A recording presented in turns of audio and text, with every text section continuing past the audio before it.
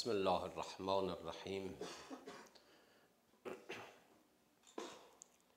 الحمد لله الذي لا يبلغ مدحته القائلون ولا يحصي نعماءه العادون ولا يؤدي حقه المجتهدون.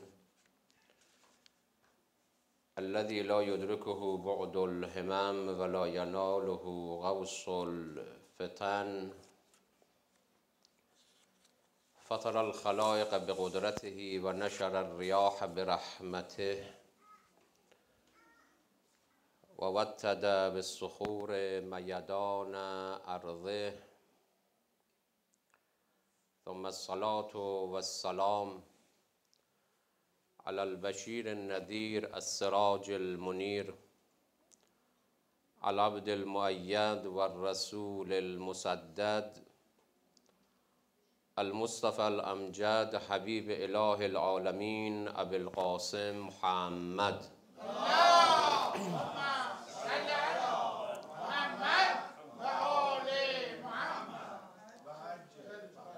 وصل على أئمة المعصومين الهداة المهديين لا سيما إمام العصر وناموس الدهر حجة ابن الحسن المهدي عجل الله تعالى فرجه. قال الله الحكيم في كتابه الكريم أعوذ بالله من الشيطان الرجيم. كنتم خير أمة أخرجت للناس تأمرون بالمعروف وتنهون عن المنكر السلام عليك يا أبا عبد الله وعلى الأرواح التي حلت بفنائك موضوع بحثمون در این شبها پیرامون چرایی آشورا و مسئولیت ما در عصر کنونی است. چرا آشورا پدیدار شد؟ علل و عوامل پیدایش آشورا چیست؟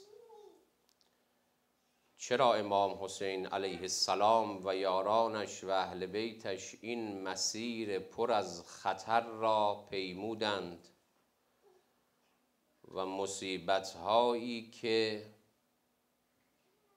در زیارت شریف آشورا میفرماید ما اعظم رزیتها یا اعظم رزیتها از مصیبت های امام حسین علیه السلام بزرگتر نداریم. چرا این همه مصیبت؟ چرا این همه سختی؟ و چرا این همه دشواری را باید امام حسین تحمل کنم؟ قبل از آنی که وارد مبحث موضوع امروز شویم مقدمه است برای روشن شدن بحث. تقدیم حضور شما می کنم بحثی است بین جامعه شناسان. مطرح هست که برای ساختن یک جامعه ایدئال برای ساختن یک جامعه کمتنش کم جرم و جنایت برای اینکه یک جامعه ای داشته باشیم با امنیت توأم با آرامش و رفاه چه باید کنیم؟ گروهی از جامعه شناسان گفتند ما باید قوانین و برنامه ها و طرحها و پروژه هایی داشته باشیم برای اینکه جامعه به طول کلی ساخته شود. گروهی دیگر از جامعه شناسان گفتن خیر ما باید تمرکزمون روی ساختن و پرورش و تربیت انسانها باشه. اگر انسانها تربیت شدند صحیح یک جامعه از آهاد و افراد تشکیل شده است و اون جامعه ساخته خواهد شد.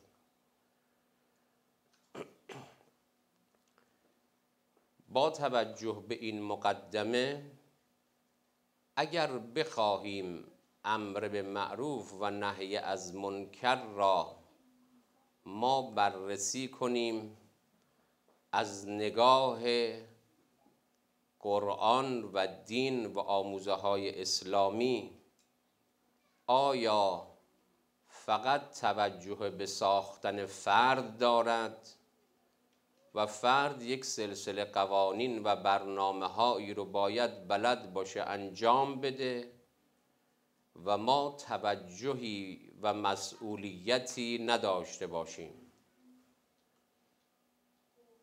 وقتی ما نگاه می‌کنیم می‌بینیم نه.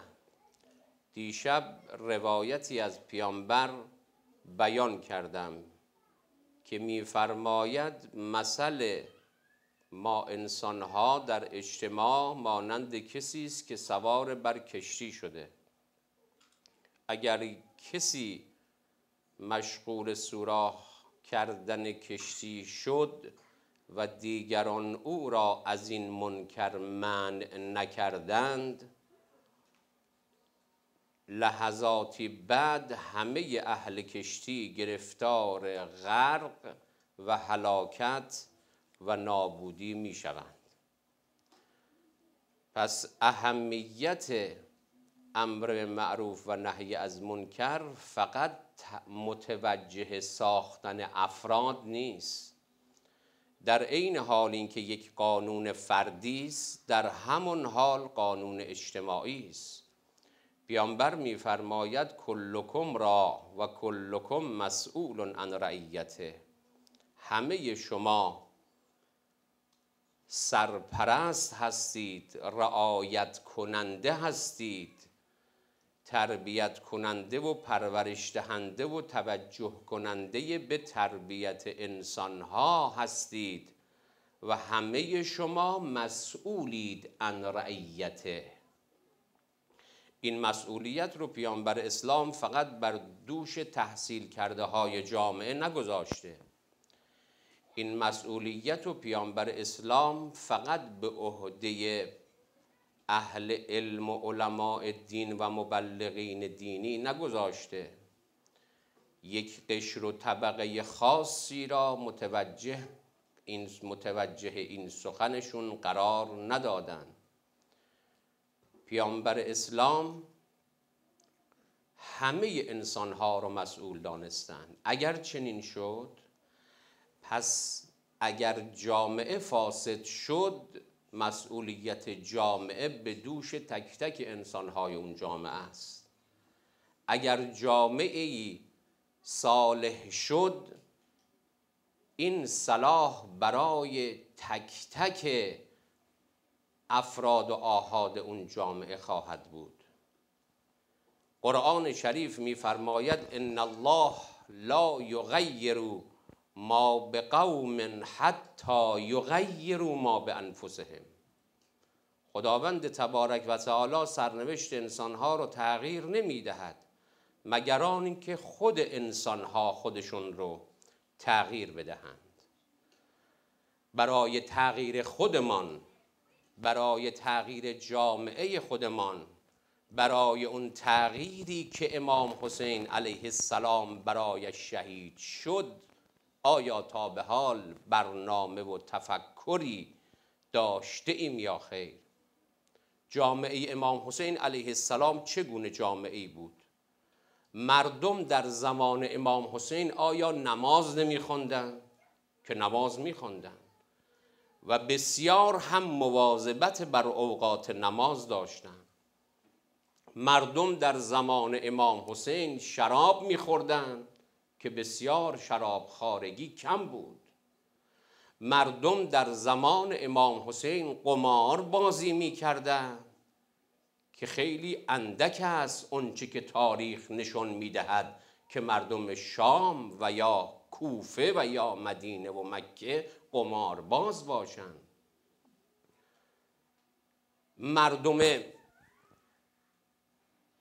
زمان امام حسین علیه السلام آیا به حج نمی رفتن و زیارت خانه خدا را بی شده بودند که این چنین نبود که بسیار بسیار مراسم حج با شکوه برگزار می‌شد.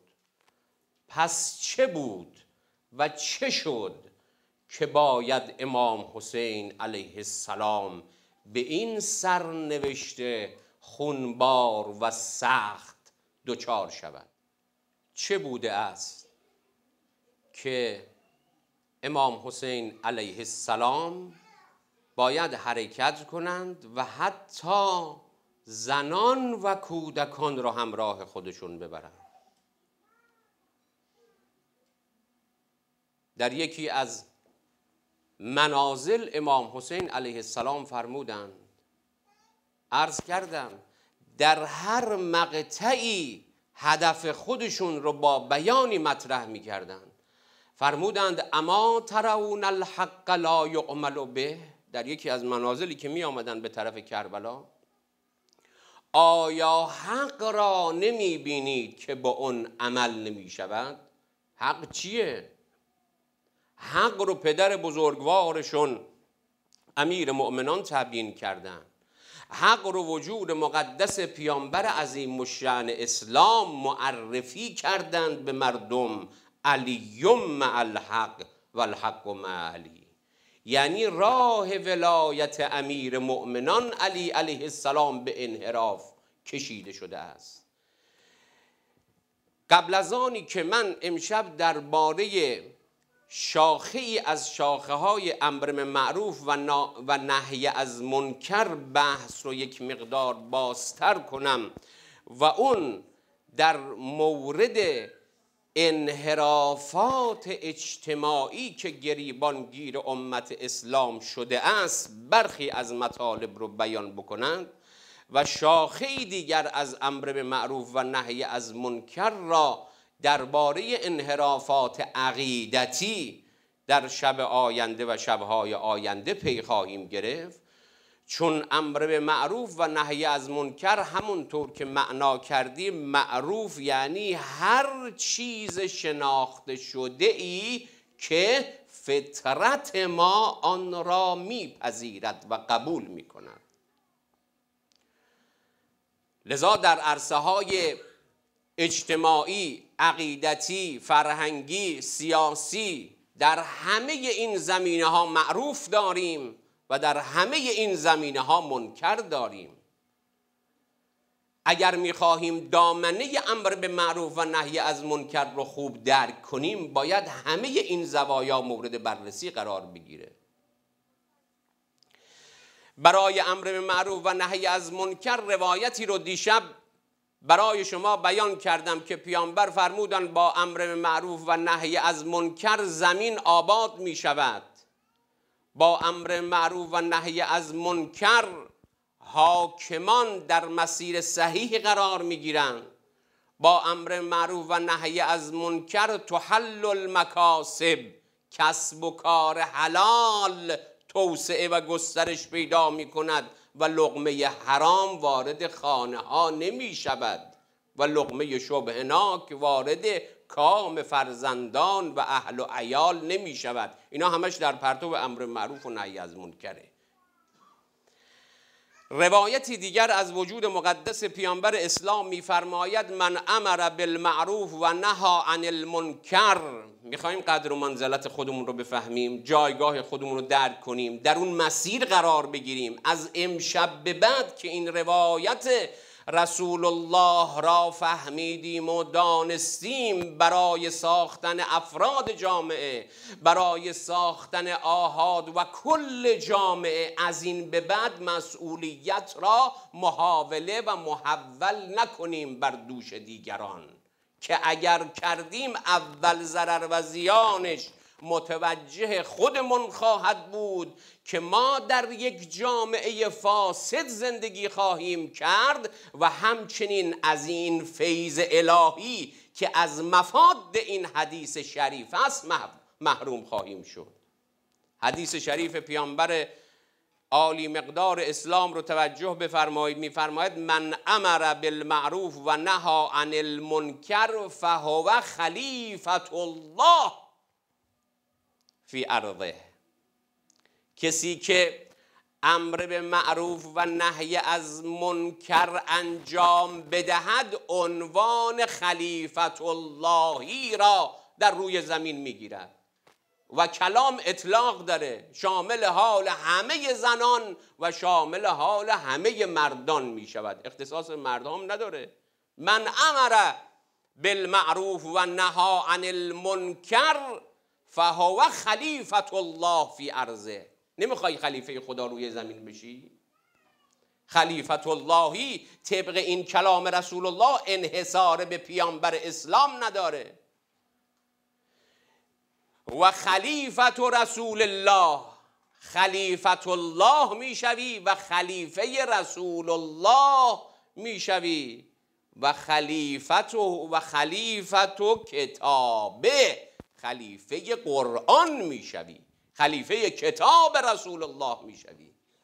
تا به حال این اندازه به اهمیت امر معروف و نهی از منکر ما دقت کردیم یا نه راحت ترین گزینه را انتخاب کردیم و مسئولیت ساختن خود و جامعه را به عهده دیگران وانهاده ایم. شخصی از پیامبر اسلام سوال کرد. من خیر الناس. خانم ها آقایان ما نمی‌خوایم بهترین انسان باشیم.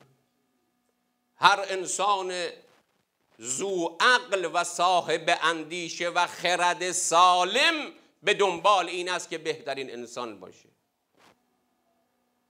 شخصی از پیامبر سوال کرد یا رسول الله من خیر الناس چه کسی است بهترین انسان؟ پیامبر فرمودند آمرهم آمرهم بالمعروف. اون کسی که امر به معروف می کند معروف ها را توضیح و معرفی می دهد توضیح می دهد و معرفی می کند به جامعه. آمرهم بالمعروف و انهاهم عن المنکر. اونی که بیشتر نهی از منکر و زشتی می کند عرض کردم دیشب وقتی معروف و منکر را از نظر لغت معنا کردم این طبع و سرشت و فطرت آدمی را خدا پاک آفریده. در این کالبد خاکی و ناسوتی و دنیایی ما روح الهی به ودیعه و امانت گذاشته شده. و نفخت فیه من روحی خداوند فرموده. لذا این روح برگرفته ای که منتصب به خداست این روح طبیعتا و فطرتا کار خوب را می‌فهمد. لذا معروف از کارهای شایسته. و طبیعتا برایش کارهای زشت و گناه و قبیح ناشناخته است. لذا منکره براش کارهای گناه معصیت ها براش ناشناخته است. آمرهم بالمعروف کسی که بیشتر امر معروف کند و کسی که بیشتر نهی از منکر کند و اتقاهم و اتقاهم الله و اتقاهم لله. کسی که بیشتر برای خدا تقوای الهی پیشه کنه. واجباتش رو انجام بده از محرمات فاصله بگیره مستحبات و مکروهات رو مواظبت کنه و ارضاهم. کسی که بیشتر راضی به رضایت خدا باشه. ببینیم همه این مصادیق وجود مقدس امام حسین علیه السلام است. در بدو خروجشون از مدینه فرمودن ارید و ان آمر بالمعروف و انها عن المنکر. در آخرین لحظات تو گودی قتلگاه دیدن لبهای متحر سید و شهدا حرکت می کند نزدیک شدند زمزمه می کرد آقا الهی رضن به رضاک تسلیما لامرک. لا معبود از خیر الناس از نظر کلام پیامبر کیست؟ آخر کلام و ارضاهم کسی که بیشتر به رضایت خدا راضی باشه. از مقامات برجسته بهشتیان ابرار.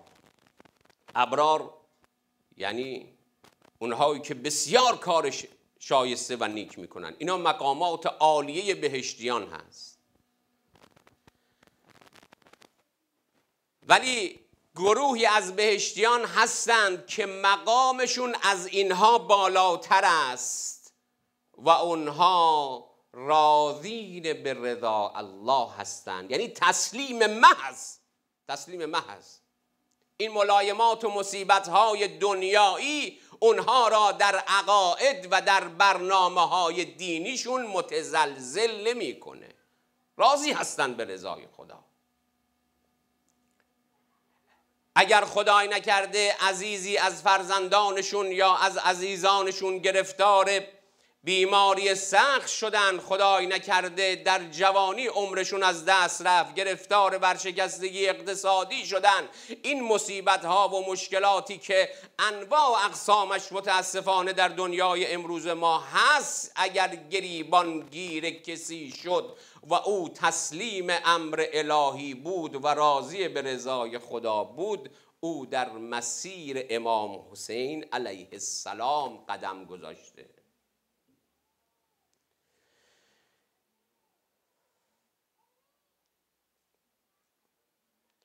حالا این اهمیت امر معروف و نهی از منکر. اگر امر معروف و نهی از منکر ترک بشه چی؟ اومدیم مجلس امام حسین دیگه. اومدیم در مکتب اسلام و قرآن وظیفه دینی اسلامی خودمون رو یاد بگیریم. اگر امر به معروف و نهی از منکر ترک شد در جامعه چه بلایی به سر اون جامعه می آید؟ پیامبر اسلام خیلی روشن اون رو بیان فرمودند لتأمرن بالمعروف و لتنهون عن المنکر. باید این امر پیامبر است. امر مستقیم پیامبر است. با لام تأکید با نون تأکید. لتأمرن هم لام اول این فعل مزارع است که تأکید است. هم نون تأکید سقیله در آخر این کلمه است. تعمرن با نون تأکید ثقیله از نظر ادبیات عرب. لتأمرن بالمعروف و لتنهون عن المنکر. شما باید امر به معروف کنید و باید نهی از منکر کنید. خب حالا اگه گوش ندادیم به امر پیامبر اگه رها کردیم مثل امروزه مثل جامعه بی درد مسلمان امروز جامعه بی درد شیعه امروز که ترک امر معروف و نهی از منکر کرده. چه خبر تو خانواده های ما؟ چه خبر تو جامعه اسلامی ما؟ در جوامع دینی ما چه خبره؟ از فساد و فحشا و دزدی و کلاهبرداری و حق بازی و غیبت و تهمت و سخنچینی و دروغ و نمامی. الله اکبر. شخصی آمد خدمت امام صادق علیه السلام.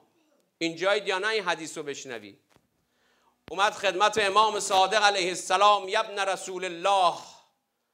این احادیث رو انسان میشنود لرزه بر اندامش میافتد. اگر ذره جو به اندازه ذره جو نه ذره به اندازه حتی ارزن کسی غیرت دینی داشته باشه. یبن رسول الله آیا شیعه ممکن است شراب بخوره؟ امام صادق علیه السلام فرمودند ممکن است شیعه خطا بکنند و شراب بخوره. یبن رسول الله آیا ممکن است العیاذ بالله شیعه ای زنا بکنه؟ امام صادق علیه السلام فرمودند ممکن است انسانی به خطا مرتکب این عمل شنی و زشت شود. ممکنه کسی باشه شیعه و چنین کاری انجام بده. سوال کرد یبن رسول الله آیا ممکن است شیعه دروغ بگوید؟ امام صادق علیه السلام فرمودند شیعیان ما هرگز دروغ نمی‌گویند. یعنی چی؟ یعنی ای دروغ گو تو دروغ گفتنت از زنا کردن بدتر است از شراب خوردن بدتر است. اسم شیعه امیر و مؤمنان روی خودمون بذاریم دروغ بگیم. هر صبحگاهان زبان رو می‌کنه به اعضا و جواره به دست به پا به چشم. کیف اسبحتم چگونه صبح کردید شما؟ اونها میگن نحنو به خیر ما به خوبی و سلامتیم اگر تو بذاری. این دروغ. این گناهان زبان چهل گناه حداقل از زبان صادر میشه. تو مجالسمون چقدر نمامی هست چقدر سخنچینی هست چقدر دو به همزنی هست. آیا می شود یک تجمع چند نفره پنج نفره ده نفره کمتر و بیشتر داشته باشیم و یک ساعت به سلامت بگذرانیم و یک در اون یک ساعت دروغ و غیبت و سخنچینی نباشه. اگر نیست خوشا به حالمون ما شیعه ایم اگر هست بیش از این دل امام زمان رو به درد نیاریم. اسم شیعه بودن رو رو خودمون برداریم. خب اگه ترک کردیم امر معروف و نهی از منکر و جلو دروغگو رو نگرفتیم. جلو غیبت کننده را نگرفتیم. جلو تهمت زننده را نگرفتیم. جلو نمام و سخنچین را نگرفتیم. جلو کسی که انواع فسق و فجور و فساد انجام می‌دهد ظلم می کند نگرفتیم چه می شود؟ پیامبر میفرماید. شما باید امر معروف و نهی از منکر کنید. اگر چنین نکردید دو راه بیشتر نیست. دو راه بیشتر پیامبر در جلو ما قرار نمی‌دهد. یک یا باید امر معروف و نهی از منکر کنید بازدارنده برای جامعه و عوامل فاسد جامعه باشید و یا او لیسلطن الله علیکم شرارکم فیدعو خیارکم فلا یستجاب لکم.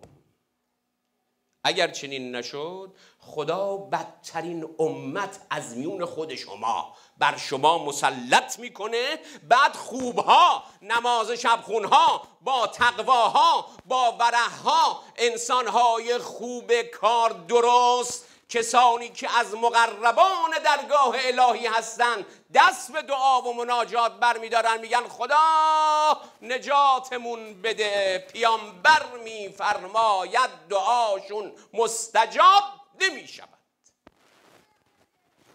این نتیجه ترک امر معروف و نهی از منکره.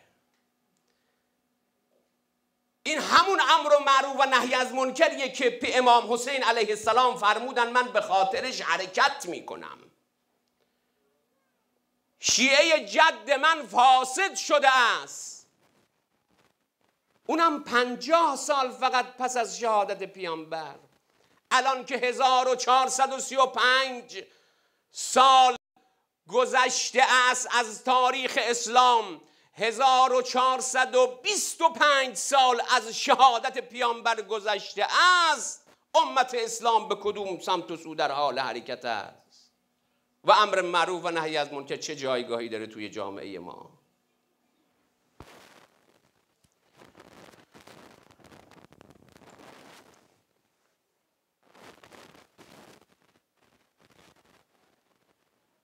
هر قسمت از بافتهای اجتماعی رو ما دست می‌گذاریم می‌بینیم ویران است. از نظر قوانین و از نظر ارزش های دینی و اسلامی کجا رو دست بگذاریم که خراب نباشه؟ خانواده رابطه پدر و مادر با فرزند و بالعکس رابطه حاکم با محکوم رابطه رئیس با کارمندا و زیر دستان. کدام قسمت از جامعه رو نگاه بکنیم در جامعه امروز به طور کلی و بعد جامعه اسلامی و جوامع دینی و مذهبی خودمون؟ فارغ از این که فساد جوامع دینی و مذهبی ما علل و عواملش چی هست؟ چه کسانی مقصرند که جامعه مذهبی و دینی به فساد کشیده شدن او یه بحثی مستقل. من نمی‌خوام متعرض اون بشم. عرض کردم همه ما تک تک وقتی مسئول شدیم حالا عامل فاسد شدن جامعه هر چی می‌خواد باشه فرق نمی‌کنه. مسئولیت ماست که جامعه رو بسازیم. در سال 91 آمار طلاق در ایران شش ممیز پنج بوده. از شش و نیم مورد ازدواج یک مورد طلاق. در سال 92 آمار رسمی پنج ممیز پنج بوده. از هر پنج و نیم ازدواج یک مورد طلاق. سال جاری آمار رسمی و غیر رسمی این آمار تکان دهنده را به زیر چهار مورد ازدواج رسونده.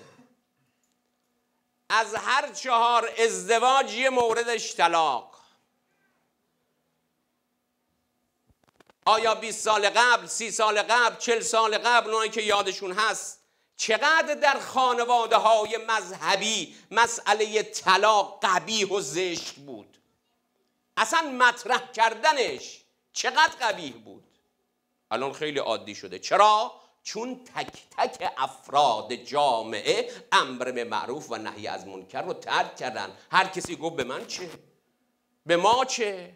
هر که هر کاری دلش می‌خواد بکنه عیسی به دین خود موسی به دین خود خب ضرب المثلای منحرف کننده غلط اشتباه از کجا داره میاد؟ پیامبر میفرماد کلکم را و کلکم مسئول عن رعیت همه مسئولند. من میگم عیسی به دین خود موسی به دین خود. به من چه؟ زحمت داره جامعه ساختن. آمار اعتیاد. در ایران الان چهار میلیون معتاد آمار رسمی. چهار میلیون جوان معتادند. یعنی چی؟ شما ببینید از نظر علم اعتیاد الان به صورت یه علم در اومده. علم مبارزه با اعتیاد صحیح ترش. میگن هر یک نفر معتاد حداقل چهار نفر باهاش در ارتباطن. اون یک نفر است و گرفتار این بیماری شده است. ولی چهار نفر دیگری که مستقیم با او در ارتباط هستند اونها هم بیمارند. یک پدر. دو مادر. سه همسر. چهار فرزند. حد اقلش ممکنه کسی بگه مثلا ممکنه کسی پدر نداشته باشه یه معتادی ولی سه تا فرزند داره. ممکنه بگه کسی مادر و پدر از دار دنیا رفتن. دو تا برادر و دو تا خواهر داره. حداقل چهار نفر مرتبطن با هر معتاد. خب وقتی چهار میلیون معتاد شدن اینو ضربه در چهار کن. میشه چند؟ شونزده میلیون جمعیتی هفتاد میلیونی گرفتار این مواد افیونی خطرناک کشنده از هم پاشاننده جامعه و خانواده شده است. کی باید اصلاح کنه؟ چجوری باید اصلاح کنیم مردم مسئولیت رو بنزن به دوش دولت. دولت به دوش مردم. بار بر زمین بماند فساد هر روز بیشتر و بیشتر. یکی از عوامل مهم سرنوشت ساز در از همپاشیدگی خانواده ها همین اعتیاده. همین اعتیاده. فرقم نمی‌کنه. متاسفانه و متاسفانه چقدرم اعتیاد در بین خانم ها و دختران جوان رواج پیدا کرده اونی که می‌تواند با پولش ممکنه طرح و برنامه ای نداشته باشه ولی پول داره پولش رو بگذاره در این مسیر مصرف کنه. یه جوان و اگه نجات بدی دنیا و آخرت بسه.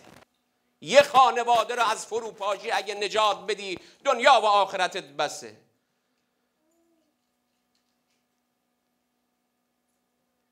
یک پدر و مادری را از اون آهای دردناک شبانه و اون غمها و غصه های جانکا اگر نجات بدهی مانند این هست که یک مرهمی بر زخم بدن سید و شهدا گذاشتی.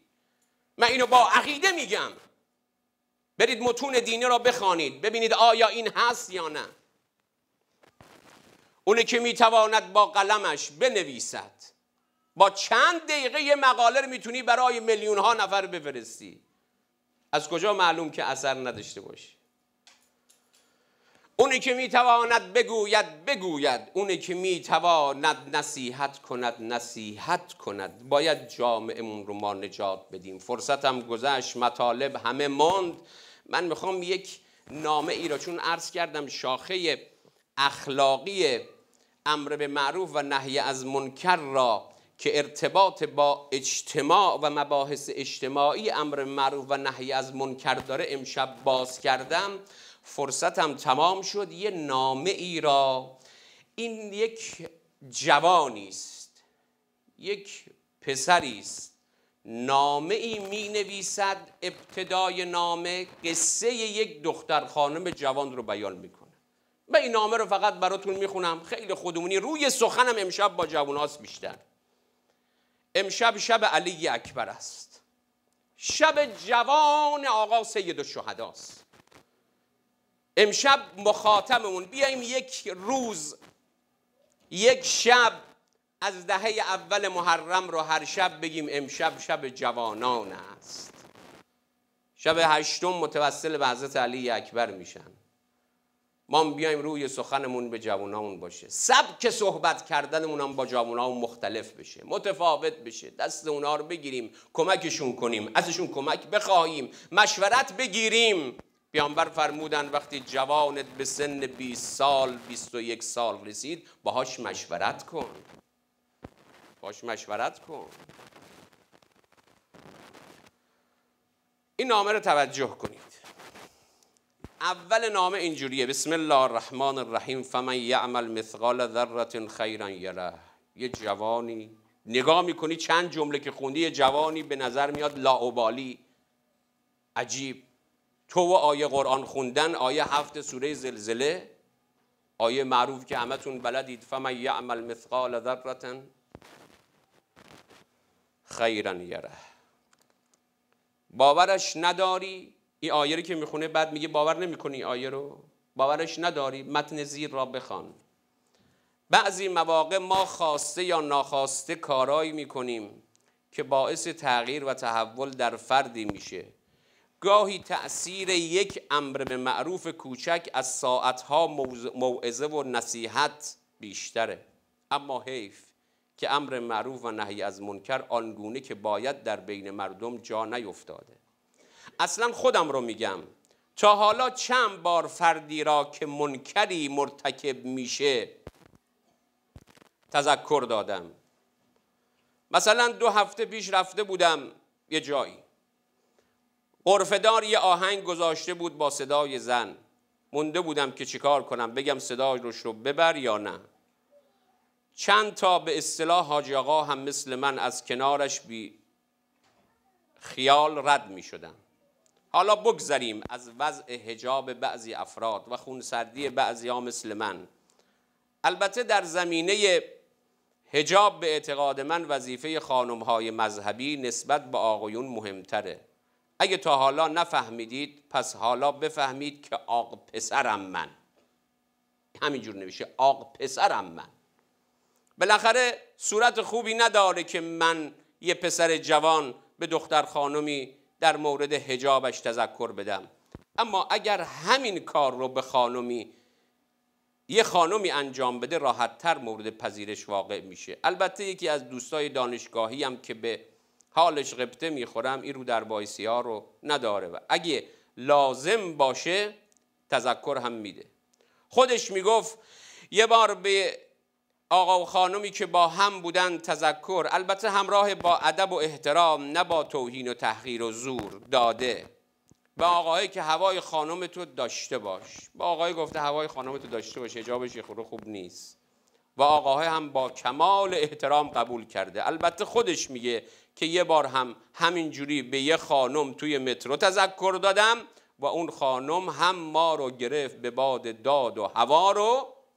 دیگه بقیهش چند تا نقطه. بگذاریم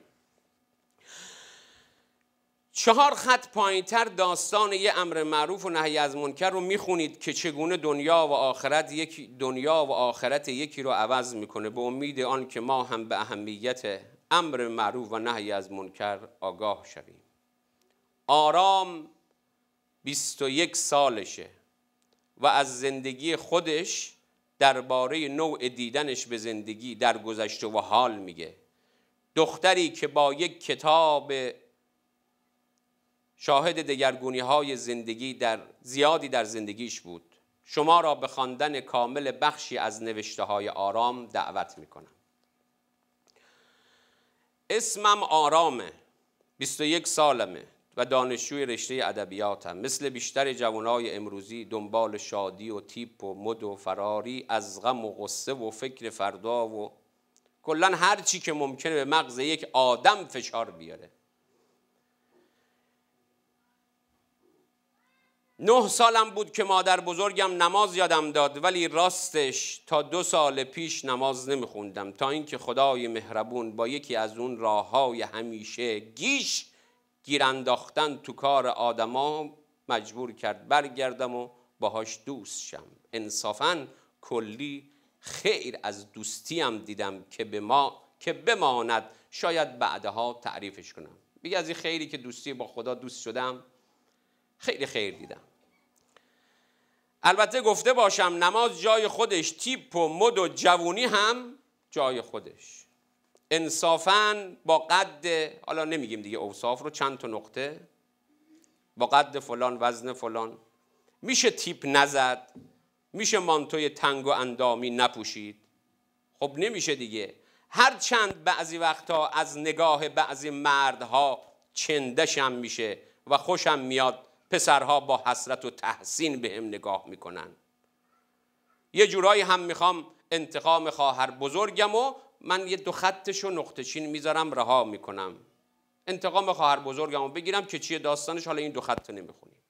سه ماه پیش در حالی که مجهز به آخرین مدل روز در حال تبرج جلو پاساژ ها و مغازه ها بودم یه آخوند مسن جلوم سبز شد. و یه کتاب کوچیک داد دستم گفت دخترم وقت کردی یه نگاه کوچیک به این بیانداز. من که از تعجب و کمی ترس شوکه بودم دیدم کتاب دستم موند و پیرمرد راهش کشید و رفت.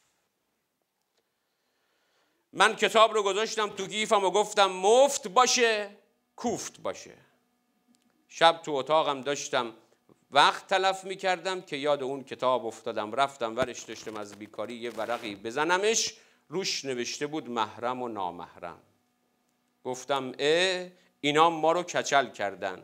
با این حرفا اگه همین, طوری ادامه بدن دیگه مویی تو سرمون نمیمونه که بیرون بذاریم. کتاب رو انداختم اونور. چند روز بعد سر زور از بیکاری کلافه شده بودم از دیوان صاحب که دستم بود خسته شده بودم. رفتم دیوان صاحب رو بذارم سر جاش که دوباره چشمم به اون کتاب افتاد. ورش داشتم صفحه اولش رو خوندم. احساس کردم یه آدم مهربون داره با هم حرف می‌زنه. از متنش خوشم اومد. کتاب کوچیکی بود یه ساعت خوندم و تمومش کردم. یه سری آیه و حدیث در مورد حجاب و رعایت مسائل محرم و نامحرم بود. حرفای عجیب و جدیدی توش بود که تا حالا به گوشم نخورده بود. یکیش همون حدیث که تو پست بعدی براتون گذاشتمش. آخر کتاب این حدیث نوشته بود. که یک ساعت تفکر بهتر از هفتاد سال عبادت. و از خواننده خواسته بود که فکر کنه. چند روزی ذهنم به مطالب اون کتاب مشغول بود. نمی‌تونستم از ذهنم پاکش کنم. مخصوصا هر کی تو خیابون نگاه هم می‌کرد یاد حرفای پیامبر و حدیثای اون کتاب میافتادم. بالاخره یه بعد از ظهر جمعه با خودم گفتم اینجوری نمیشه. یه کاغذ گذاشتم جلوم و به خودم قول دادم با خودم رو راست باشم. چقدر خوب آدم. یه ساعتی یه لحظه ای چند دقیقه تو زندگی با خودش رو راست باشه. حالا با خدا رو راست بودن او جای خودش. با خودمون رو راست باشیم. شاید از این دختر جوان یاد بگیریم. با خودم رو راست باشم. برای اینکه این درگیری ذهنی حل بشه چیکار میشه کرد؟ نوشتم یک. بی خیال همه چی شو و صورت مسئله رو پاک کن. به این چیزا فکر نکن. تو جوونی واسه روحیت خوب نیست. دیدم نمی‌تونم چون این چند روز تلاشم رو کرده بود. دو. گفتم راه دوم. این راه اول که نشو. راه دوم. اصلا قرآن همش دروغه و پیامبر و اماما همشون دروغ گفتن. این حرفا خرافاته. دیدم دلم گواهی میده که من دروغ گفتم. من با همه وجودم خدا رو احساس می‌کنم. می‌دونم هست می‌دونم اونقدر دوستش دوستم داشته که واسه کمک به من پیامبر و اماما رو فرستاده. و دیدم دلم مطمئنه که پاداش و کیفری هست. اگه اونایی که حرف خدا رو گوش دادن با اونایی که ندادن یکی باشن عدالت خدا زیر سوال میره. این دومی هم که نشد. سه گفتم برم سراغ راه سوم. اصلا چرا به ما زور میگن؟ من نمی‌خوام زوری برم بهشت. می‌خوام با انتخاب خودم برم جهنم. دیدم دارم به خودم دروغ میگم. من که 20 جور کرم کرم ضد آفتاب می‌زنم. تا آفتاب منو نسوزونه چجوری می‌خوام تو آتیش بسوزم؟ من که سوسک می‌بینم سکته می‌کنم سکته می‌زنم چجوری تحمل مار و اقرب های جهنم رو دارم؟ خب اینم که نشد. گفتم راه چهارم. چهار. خدا مهربونه. همه رو میبخشه می‌بره بهشت. پیامبر و اماما که گفتم این راه چهارمه. هر چی خواستم گناه کنم. برم دنبال جوونی. جوونی کنم. خوش باشم این چند روزو. چند روز دنیا رو. بعد خدا مهربونه. خدا همه رو میبخشه. گفتم اگه اینطوره که پیامبر و اماما که بیشتر از من خدا رو میشناختن وقتی اونا میگن می‌بره جهنم من چرا سر خودم شیره بمالم؟ و باز چند تا نقطه دیدم. هر چی می فایده نداره. چند تا چیز دیگه که سرتون رو درد نمیارم و اما نتیجه. یک خدا هست و حساب کتابی هست و بهشت و جهنمی هست. نتیجه هایی که گرفته. دو منم بخوام نخوام مسافر این راه هم تو این دنیا. منم بخوام نخوام مسافر این راه هم. فردا یا 20 سال یا 50 سال دیگه میمیرم پای حساب. سه میمیرم و میرم پای حساب. سه من خدا رو دوست دارم و دوست دارم حرفاشو گوش بدم. به این نتایج رسیدم من. چهار بذار به جای این که پسرای اوباش بذار به جای این که پسرای اوباش و چشم چرون به چشم تحسین به هم نگاه کنن خدا و پیامبر و امامای عزیزم مخصوصا امام زمان نازنینم به چشم تحسین به هم نگاه کنن. پس از امروز چادر به سر می کنم پس از امروز چادر به سر می‌کنم. آرایش و ناز و اشوگری هم ممنوع, ممنوع که ادبا گفته اند یا رومی رومی باش یا زنگی زنگ. یه طرفه. یا اینوری یا اونوری. هم آرایش و تننازی و حق بازی و دروگویی و نماز نخوندن هم مجلس امام حسین اومدن و سینه زدن و اینا بله ما امیدواریم مجلس امام حسین دست بسیاری از گمراهان حتی کفار و مشرکین رو گرفته. مجلس امام حسین نمی‌تونم من زبونم به اینجا که می‌رسه الکن میشه. نمی‌تونم بگم. گبرا و یهودیان مجلس امام حسین میان زرتشتیان میان. و چقدر و چقدر و چقدر هزاران و میلیون ها اومدن تو مجلس امام حسین حسینی شدن و رفتن.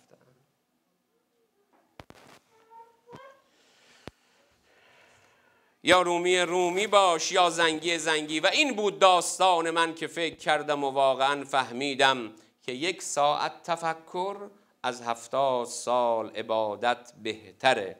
از دو ماه پیش زندگی جدیدی رو شروع کردم و با چنان, با چنان لذت و آرامش زندگی می کنم که احساس می کنم خوشبختترین دختر روی زمینم. خدا جون متشکرم. بعد آخرش یه جمله میگه میگه تو هم می توانی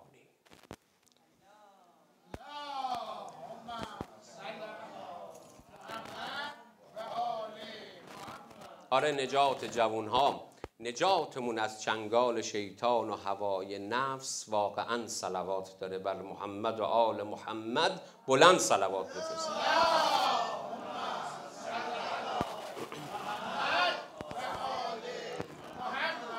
ارزم تمام. امروز روز هفتم محرم. باز یه نامه از کوفه آمد کربلا. نامه امروز رو عبید الله ابن سیاد ملعون نوشت و فرستاد برای عمر سعد.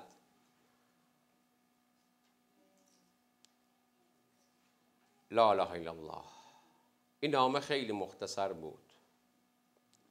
در این نامه عبید الله ابن زیاد نوشته بود به عمر سعد عمر سعد بین حسین و آب فرات فاصله بینداز. دیگه دست حسین و فرزندان و یارانش به آب نرسه. لا اله الا الله. عمر سعد یه نفر به نام امر ابن حسین رو با 500 فرد مسلح فرستاد شریعه فرات رو محاصره کردن. اونایی که رفتن کربلا می‌دونن کجا رو میگن. فرات به بارگاه و گنبت آقا قمر بنی هاشم نزدیکتره. آخه رفت آب بیاره قمر بنی هاشم. دیگه به خیمه ها بر نگشت.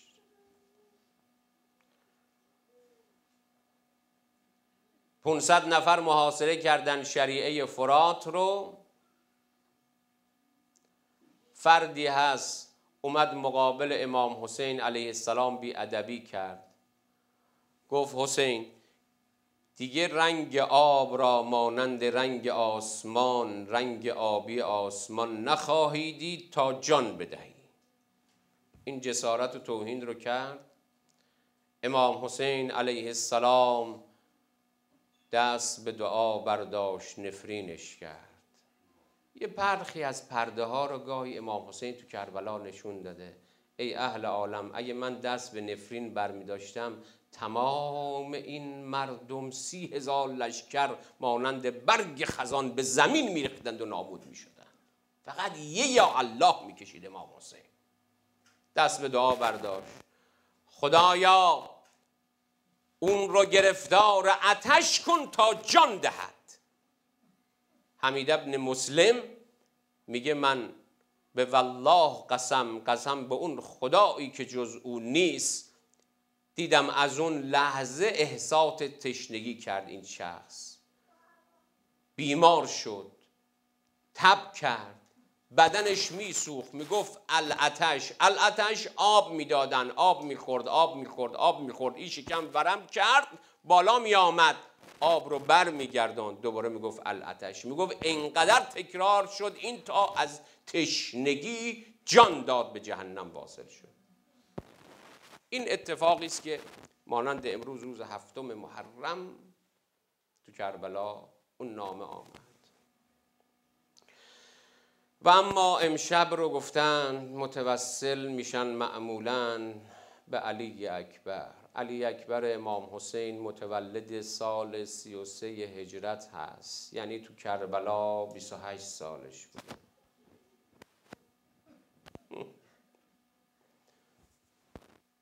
از امام صادق علیه السلام سوال کردن. آ پدر و مادرای جووندار. جواناتون امشب تو مجلس علی اکبر بیمه کنی از امام صادق علیه السلام سوال کردند یبن رسول الله شیرین ترین لحظه زندگی برای پدر و مادر چه لحظه است؟ امام صادق فرمودند لحظه ای که این پدر و مادر جوانی داشته باشند فرزندی داشته باشند این جوان و فرزند رشد کنه بزرگ بشه مقابل چشم پدر و مادر راه برن پدر و مادر نگاه به قد و بالای این جوان می‌کنه لذت می‌بره. بعد سوال کردند یبن رسول الله سختترین لحظه برای پدر و مادر چیه؟ امام صادق فرمودند همین جوان مقابل چشم پدر و مادر جان بده. پدر و مادر نتوانند کاری کنند. قربان دردهای دلت یا ابی عبدالله. قربان دردهای دلت. اول جوانی که از بنی هاشم اومد اجازه میدان بگیره علی اکبر بود. آمد مقابل بابا دیشب عرض کردم دو مرتبه ابی عبدالله دو مرتبه ابی عبدالله. غش کردند روز آشورا یه مرتبه وقتی قاسم آمد اجازه میدان بگیره یادگار برادر یادگار امام مجتبا یه بارم وقتی علی اکبر آمد بابا اجازه بده برم میدان. امام حسین علیه السلام به سرعت اجازه داد ولی گفت پسرم یک بار دیگه بذار اون روی ماه تو را ببوسم. دست به گردن علی اکبر گریه کردن این پسر و پدر حتی قشی علیه ما. برخی نوشتن تا هر دو قش کردن بیحال شدن. علی اکبر اجازه میدان گرفت. رفت به طرف میدان چند لحظه ای جنگی نمایانی کرد. عده از این کفار رو به خاک مزلت و جهنم فرستاد. یه وقت دیدن علی اکبر داره برمیگرده به خیمه ها به طرف امام حسین. اونم با بدن پاره پاره و زخمالود داره خون از بدن علی اکبر میاد. آمد مقابل پدر یا ابتا الاتشو قتل قد قتلنی و ثقل الحدید اجحدنی. پدر سنگینی اسلحه من را آزار میده. بابا بابا تشنگی داره مرا هلاک می‌کنه. ابی عبدالله گو بیا جلو فرزندم بیا جلو. آمد جلو آمد آمد. ابی عبدالله زبانش رو در آورد در دهان علی اکبر گذاشت. یعنی ببین فرزندم زبان من از زبان تو خشکتر است. برگرد میدان ان غریب است که به دست جدت سیراب می‌شوی. برگشت علی اکبر به میدان. مرت ابن منقذ عبدیه. میگه والله قسم خور قسم خور خدا لعنتت کنه. لعنت کنید امشب مرت ابن منقذ عبدی رو. میگه به خدا قسم والله این جوان بر من نخواهد گذشت مگر اینکه داغش رو بر دل مادرش بگذارم. علی اکبر آمد. برخی میگن به نزدیک که شد به مرت ابن منقذ. اول هوا اول با نیزه حواله کرد به کمر علی اکبر. بعدم با شمشیر به فرق علی اکبر زد در حالی که اون مشغول جنگ بود. یه مرتبه خون بر چهره علی اکبر. علی اکبر بیال شدی دو از دو دست و انداخت به گردن اسب. ها تصور کنید الان دو دست انداخت به گردن اسب. این خون از فرق علی اکبر اومد روی صورت اسب رو گرفت. اسب به جای این که بیاد به طرف خیمه ها رفت به طرف دشمن رفت داخل دشمن رفت داخل لشکر عمر سعد رفت تو قلب دشمن. حالا این اسب داره میدوه در میان این جمعیت غدار. تیغ به دست شمشیر به دست نیزه به دست به هر نفر که رد میشه علی اکبر یه شمشیر به بدنش ارباب مقاتل نوشتند اربن اربا بدن علی اکبر پاره پاره شد. از روی اسب بر زمین افتاد. زدا زد علیک من السلام. یا ابتا بابا من رفتم خدا حافظ. ابی عبدالله خودش رو رزون فرق شکافته بدن پاره پاره. این لبها رو گذاشت به لبهای علی اکبر آرام نگره. ارباب مقاتل و وقایع نگاران نوشتند. یه وقت دیدن علی اکبر می‌خوام این جمله رو برات معنا کنم. اون, اون نهایت قلب امشب برای جوان امام حسین بسوزه. هوایجمون رو بگیریم. حاجتمندای مجلس فرج امام زمان شفای بیماران حسن عاقبت جوونامون. بیمه کنیم جوونامون رو امشب مجلس علی اکبر. میگن یه مرتبه دیدن ابی عبدالله خم شد و وضع خده علا خده. اینو می‌خواید معنا کنم براتون؟ خده علا خده. یعنی چی؟ یعنی امام حسین صورت به صورت گذاشت دلش آرام نگره صورت علی اکبر بوسید دلش آرام نگره لبهای علی اکبر بوسید دلش آرام نگره صورت به صورت سینه خود رو به سینه علی اکبر با تمام وجود جوانش رو بغل گرفت. یه وقت دیگه ابی عبدالله رو دیدن. نمی‌تونه بلند شد از روی نعش جوانش. از روی نعش جوانش نمی‌تونه بلند شه. تاریخ داره جوانها اصحاب که کشته می‌شدن. ابی عبدالله بدنها رو می آورد به خیمه ها یک یک کنار یک دیگر میگذاشت. ولی وقتی علی اکبر شهید شد دیگه نتونست بدن رو بیاره.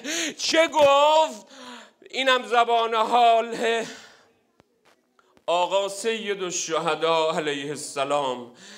یه وقت شنیدن ابی عبدالله میگه جوانان.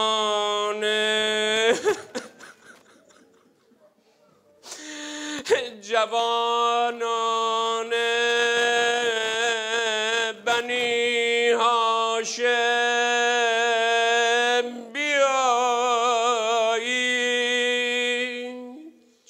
کنن این جوونا؟ برای چی بیان؟ جوانان بنی هاشم.